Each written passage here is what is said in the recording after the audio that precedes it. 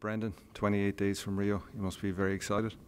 Yeah, very excited now. With the build up, you know, the training's been tough and we've just got our new gear for the Olympics, so it's, it's all going really well and can't forward to get going now. And preparation has been going very well in terms of training. You've had a couple of intensive training camps with, with France and now Russia this week. Yeah, it has. It's been intense past couple of months, but um, we've got through it, you know, and this is just sort of the last hurdle, and we'll we'll be flying when the games come. And it must be a dream come true to qualify for the Rio Olympic Games in terms of for, for not just you but also for your, your family at home. Yeah, definitely. At 19 years, 19 years old, you know, to qualify for Olympics, it was amazing. You know, especially for my club as well. My club's only going five years so, St Paul's. So it's it's great, and not only for me, my family, but for the coaches in my club as well because they put a lot of time and effort into the club. And in terms of your uh, your coach, in, in terms of your club coach at home, uh, how much of a, pivotal role has he played in the development of, of you as a boxer?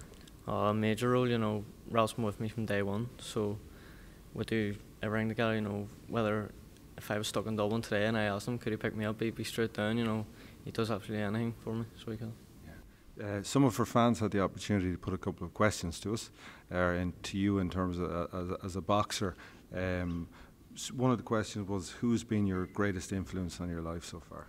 Um, my greatest influence. Um, I'm not. I don't really have an influence. You know, I just always keep level-headed, and you know, anything I do, you know, it's from a family. Uh, I live in the house with my mummy, so she probably be my biggest influence. You know. Brilliant, brilliant. And in terms of uh, what what drives you to success, I'm sure you're aiming for, for a gold medal out in, in Rio. What what drives you to get up every morning and, and to be the best that you can be?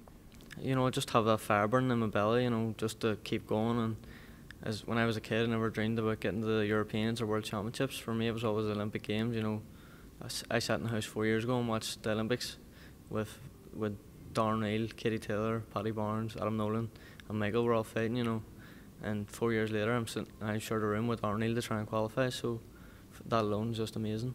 So you've fulfilled the dream already in terms of qualifying for the for the games.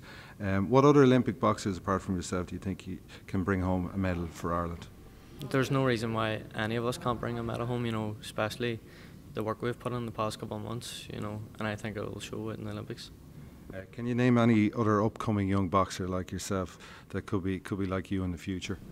Um, as you see, the talent in Ireland's phenomenal. There's there's always someone coming through and uh, the amount of clubs in, in Ireland, Belfast, North and South, you know, there's there's so many kids coming through at the minute, and Irish boxing's only on a rise.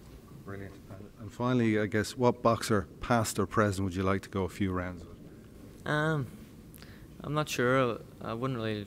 I would like to go and watch, you know, professional boxers live and stuff, and see what way they operate and stuff. But um, I wouldn't really like to I'm getting in the ring with this one or that one, you know. You fancy your chances against most of them anyway, I'm sure. Too. yeah, well, that's it, yeah. Well, listen, on behalf of everybody in the IABA, we just want to wish you the, the very best uh, over in Rio, and we'll, we'll all be behind you. Thank you very much. Thank you.